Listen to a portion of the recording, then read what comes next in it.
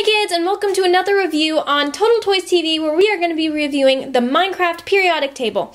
Now this is a pretty cool thing because it has a bunch of different blocks in it that represent all the different blocks or most of the different blocks in the game and on the back they tell you what the block name is and what its symbol or letters would be to represent it this is kind of this is actually a really cool theory thought thing because I've never thought about grouping blocks like this or in this way. So like over here we have stuff from the nether and just a bunch of natural spawns and ores, which it does tell you on the front of the box.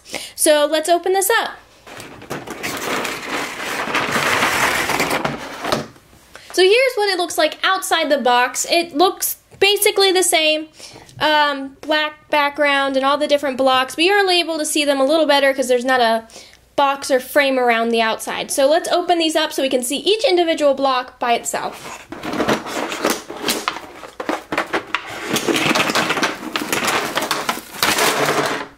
Look at all these blocks that we get in this box. There's just so many and different kinds of stuff.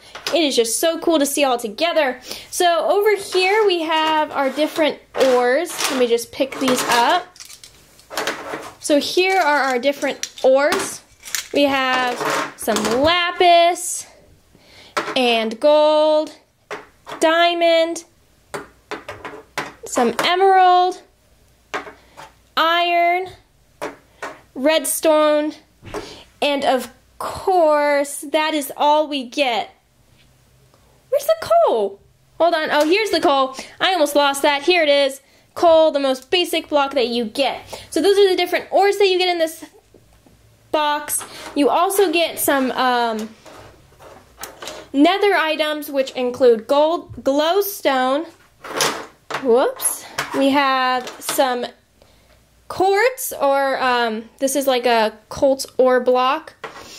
We have where is it? Netherrack here. And one more, which is here, which is soul sand. And then all of these other blocks are just the natural spawn blocks.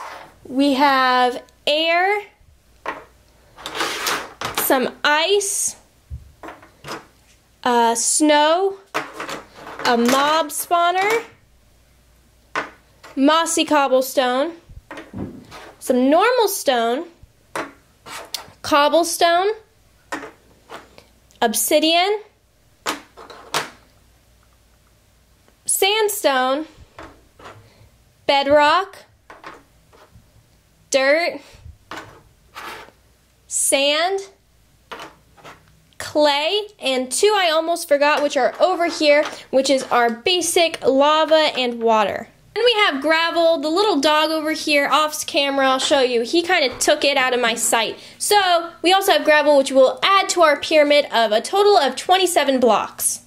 Now we're going to add the Minecraft periodic table blocks to our nice Minecraft collection. And thank you guys for watching us on today's Total Toys review of Minecraft toys.